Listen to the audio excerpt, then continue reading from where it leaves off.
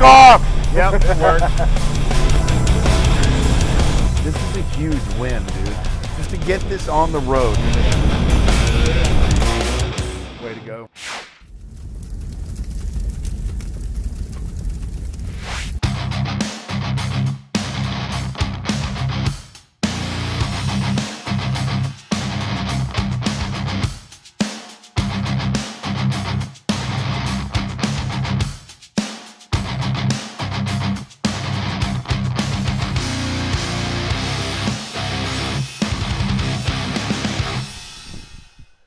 1970. Your best friend is a smartass, and he's got a Camaro that thinks it's fast. His buddy has a Mustang that thinks he's fast.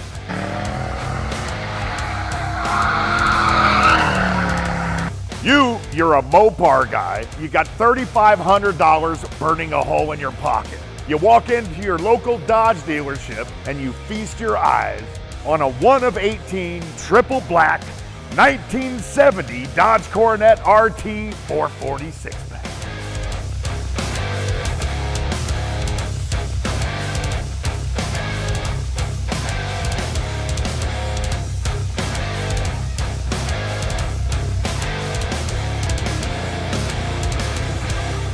The car over my right shoulder is uh, a 1970 Dodge Coronet RT 440 6 pack car. It's actually the first car that I went to Barrett Jackson and uh, kind of hunted down and stalked the car prior to its going up on the bidding block. It was sitting outside in one of the tents, very unassuming. It was 2008. I was probably about 300 pounds at the time. It was a little harder for me to hide because if someone saw me, and thought I was interested in the car, there's always that guy who would like to bid you up and to just be that guy. I'm looking the car over. I have a hoodie on. Unfortunately, I was identified and it really pissed me off because I, I knew that it was over. I knew somebody was going to bid me up. So, fast forward to the car crossing the blocks. I go up there with my hoodie on. I turn to my right and I see the guy that ID'd me out by the car originally he wanted the car. He was there to specifically bid on the car. I have never done this before. I do not suggest this to anyone. It's improper behavior, especially at an auction. I'll never do it again. But I literally walked up to this gentleman and I said, Here's the deal. I love this car. I came here specifically for this car. You can be a dick all you want, but I'm not leaving without this car. So you can bid it up, you can stay out, the choice is yours. So the action started flying, bids started going. I look, the guy raises his hand. I raise my hand. I look at the guy. He doesn't bid again. Whoever you were, I can't thank you enough. I appreciate it greatly. By you bowing out, I purchased the vehicle, brought it back home, put it on one of the 13 lifts I had at Goldberg's garage out in California. And unfortunately, it was up top, and it was one of those cars that I never really got to. So I never drove the car. It's 2024 right now, and I can honestly say I've probably put 25 to 30 miles on that vehicle in the last 16 years. It's an automatic, it's got a 727 TorqueFlite, 440 6 pack car, which means three two barrel carburetors. Jackson and I have become extremely familiar with these carburetors because we've spent a lot of time prepping them prior to today's drive. Yeah, boy! All right, well, all right, no, no, that's good. Um, let's check no leaks underneath real quick. Do we have them uh, properly calibrated? Absolutely not. Are they mounted on the car and are they flowing gasoline through them? Yes, they are. So, you know, let's go drive it.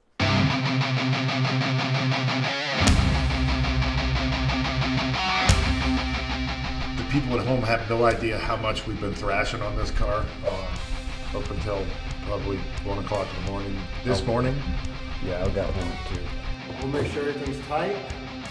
Dude, it's amazing what happens if you put all the parts on the real kit back into it. Yep. I'm showing everybody that everything that I have is drivable.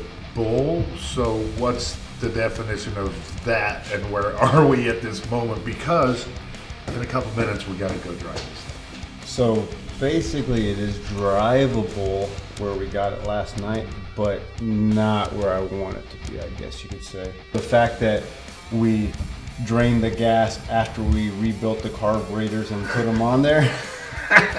I'm removing these float bowls again and I'm going to make sure that there's no more trash or anything that went back up in there. You basically ran a colonoscopy on the three two barrel carburetor. Yes, basically. And now I'm just gonna do it again. Just because. That's what they do when you go to the doctor. Come out. It's on you. We have 15 minutes to get this thing running, right? Alright, yep, 15 minutes. Okay.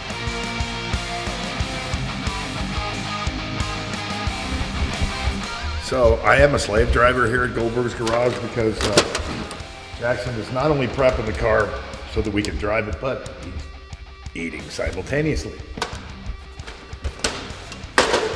By the way, Mark and compadres, thanks again, brother. You're always there for us. Okay. I've now got 10 minutes. left. Enough break? You have, mm-hmm. you have seven minutes left.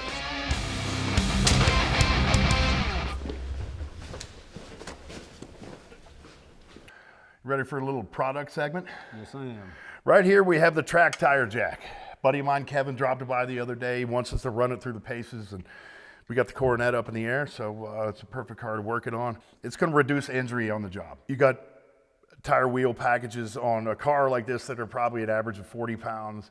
On a truck, what is it?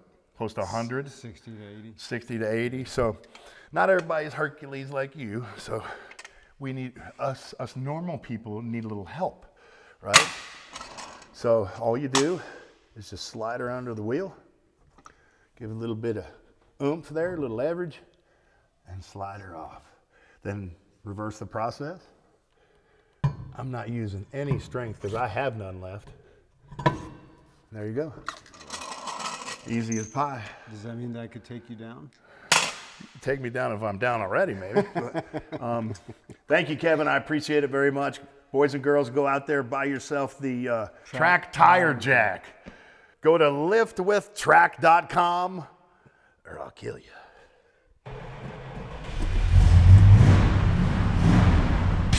I'm to try to go right out here and do a donut.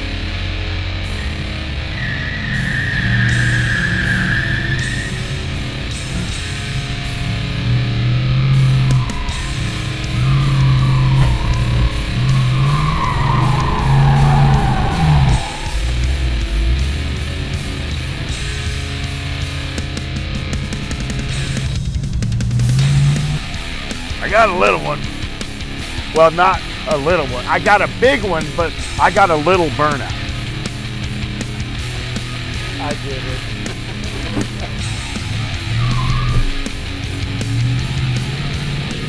Yeah, right. Dude, it just shifted through second gear perfect, And right? it didn't run that bad. I'm pretty pleased with the way it runs. I Yeah. Dude, as much shit as we did to this car. First it sat for how many years? 15 years? Frickin' coolant dripping on it from the Trans Am. It's just sad. And since we've had it at the garage, since the garage has been built, we haven't done anything with it up until two weeks ago when we considered filming it. Then started with the brakes, the wheel cylinders, then we bled the brakes, and then that didn't work. Then we changed the master cylinder. That freaking worked. At one o'clock last night. One o'clock last night. Then the carburetor issue. This car runs, man. One work. Nope. Nope. Fuck off! Yep, it worked. How's it feel to drive it truly? I can't put it in words, dude. It's just the smile on my face. Freaking awesome. Couldn't have asked for a better day either. No, couldn't have asked for a better day, and I couldn't have asked for a better mechanic, dude. I mean, Thank you. I appreciate that. You uh, have been busting your ass to get this thing ready. Truth is, it's not 100% ready, Yeah. but I'll be damned if we were not going to film this thing today. Yeah. I was determined last night. Doesn't bog here. Didn't even downshift with all that torque. Yeah. Yeah, it wants to go. Maybe it's running too rich and just loading up. That's what it actually feels like. Yeah.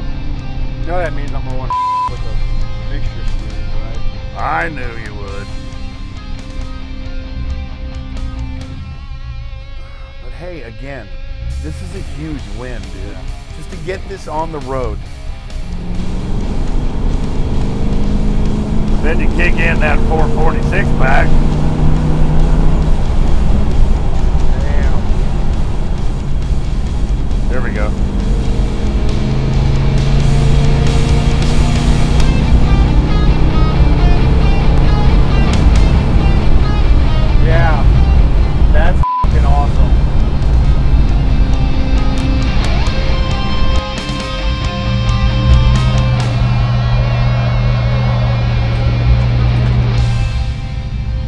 Hope he got that because that's that's all I can do. That's all.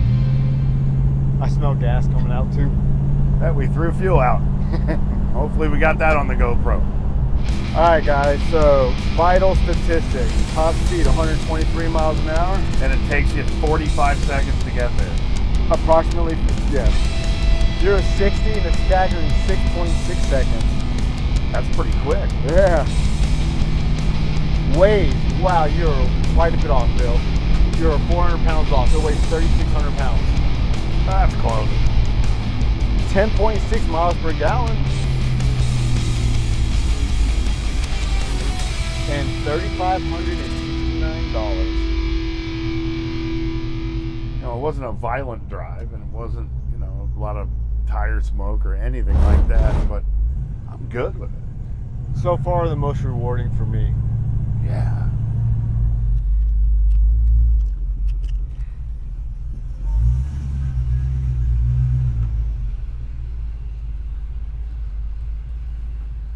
Okay, I got to say that was a complete success. There's no question I would have loved to melt these tires like we normally do, but nobody really knows the backstory on this vehicle. Just to get it out on the road and to get it back in one piece without it breaking down was a huge accomplishment. Way to go. I appreciate it.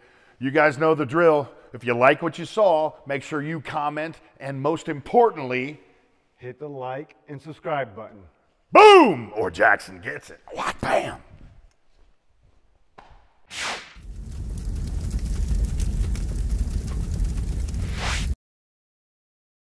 Can't wait to see what's underneath curtain number one. Because I feel like it Ooh. should have been running a lot better than it was. Oh, well, that has a little bit to do with it. Yep. Well, Mel- that, melty, melty. that was the whistling noise we were hearing after a little while was the uh, vacuum leak. Nice. That's some really quality looking tubing, too.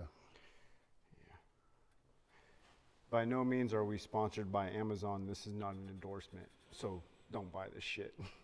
Please don't buy this shit. And I'm talking to you, Jackson. I bought it. I'm out.